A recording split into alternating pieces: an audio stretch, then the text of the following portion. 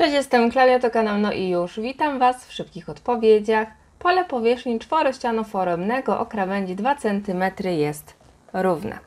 Zacznijmy od tego, że czworościan foremny, jak sama nazwa wskazuje, składa się z czterech ścian, czyli pole to cztery ściany, z których każda to trójkąt równoboczny, a na niego wzór mamy a kwadrat pierwiastka z 3 przez 4. Zanim podstawimy, możemy sobie to skrócić. Zostaje nam tylko tak.